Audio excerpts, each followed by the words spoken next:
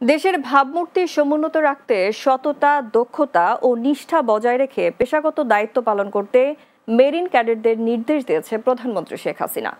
সকালে বাংলাদেশ মেরিন একাডেমিতে পঞ্চান্নতম ব্যাচের ক্যাডেটদের মুজিববর্ষ গ্র্যাজুয়েশন প্যারেড অনুষ্ঠানে ভার্চুয়ালি যুক্ত হয়ে কথা বলেন প্রধানমন্ত্রী।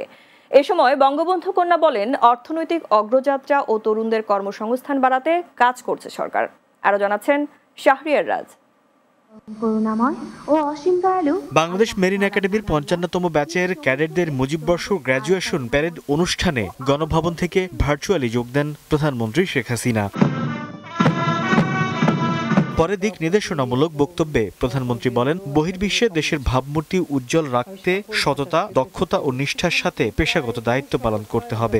আমি আশা করব যে যারা আজকে ট্রেনিং পেয়ে কর্মক্ষেত্রে প্রবেশ করবেন তারা সবাই যখনই যে দেশেই কাজ করে, নিজের দেশ হোক আর বিদেশ হোক, সেই দেশের আইন, নিয়ম, কানুন বা সমুদ্র আইন সব কিছু মেনে চলতে হবে, শৃঙ্খলাবোধ ভিতরে থাকতে হবে এবং কর্মক্ষেত্রে আন্তরিকতার সাথে কাজ করতে হবে যেমন দেশে বিদেশে বাংলাদেশের সুনাম অক্ষুণ্ণ থাকে। আওয়ামী লীগ সরকার ক্ষমতায় এসে দেশের সমুদ্র সীমা অর্জন করেছে উল্লেখ করে সমুদ্র সম্পদ ব্যবহারের মাধ্যমে সরকার অর্থনীতিকে আরও সমৃদ্ধ করেছে বলে জানান বঙ্গবন্ধু কন্যা। আমরা বিশাল সমুদ্র সীমা অর্জন করেছি। একদিকে নদীমাতৃক বাংলাদেশ আমাদের রয়েছে বিশাল বিশাল নদী আমাদের দেশে নৌ বিশেষ করে আমাদের নৌবন্দর রয়েছে সমুদ্র বন্দর রয়েছে এমনকি আমরা গভীর সমুদ্র বন্দরও নির্মাণ করছি। কাজে সেদিক থেকে আমাদের জন্য সব থেকে গুরুত্বপূর্ণ এই নৌ চলাচল বা নৌপথ।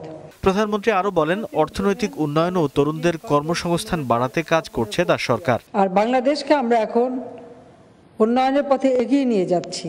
আধুনিক বিশ্বের সঙ্গে তাল মিলিয়ে চলতে হলে শিক্ষা ও দক্ষতা একই সাথে অর্জন করার আহ্বান জানান প্রধানমন্ত্রী শেখ হাসিনা। শাহরিয়ার রাজ, বাংলা টিভি, ঢাকা।